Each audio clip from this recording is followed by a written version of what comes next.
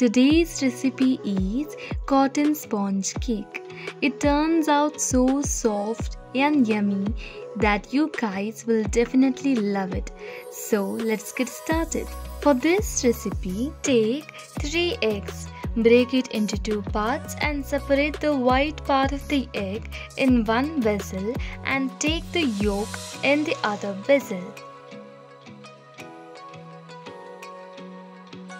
Now take the vessel that contains yolk and add half teaspoon of salt. Later add 1 tablespoon of sugar. Later 1 3rd cup of cooking oil and 1 3rd cup of milk and beat it well.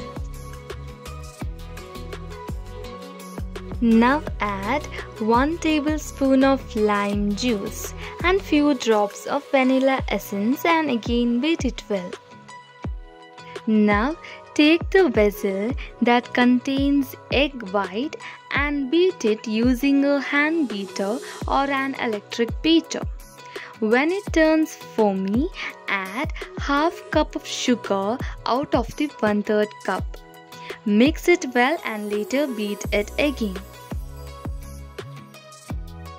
When it turns creamish, add the remaining sugar. Later, mix it well and beat it again.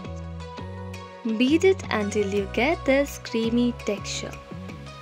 Now, take 1 cup of maida, later add 1 tablespoon of corn flour, half teaspoon of baking soda and half teaspoon of baking powder. Take the vessel that contains the yolk batter and keep a strainer over it and now add the dry items and sieve it.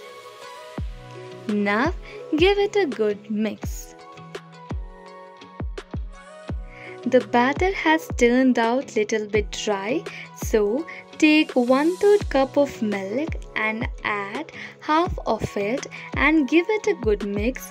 Later add the remaining part of the milk and give it a good mix. The batter must be like this. It must not be so dry or not so watery. To this batter, add the beaten white egg mixture and gently mix it.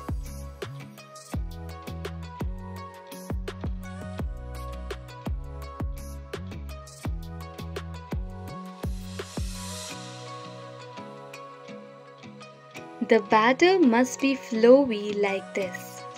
Now for the preheating process, take a cooker, place a stand inside it and later close the lid.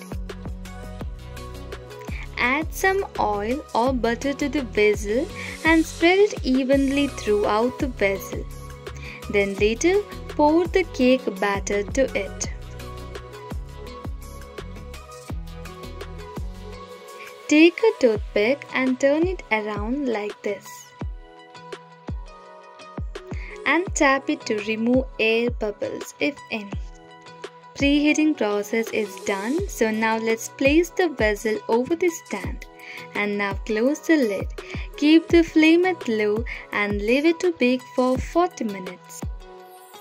After 40 minutes, prick a toothpick at the center of the cake if it comes out clean, then the cake is baked well.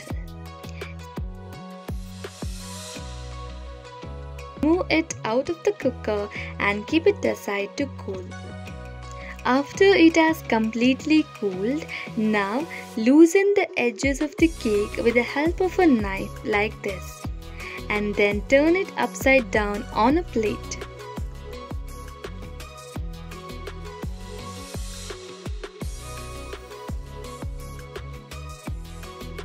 And here we go. Cotton sponge cake is ready to serve. See how perfect the cake looks. It has turned out spongy, soft and also it tastes amazing. So you guys must give a try to this recipe and also share your views and feedbacks in the comment section. If you loved today's recipe, then do like and share the video and don't forget to subscribe to my channel.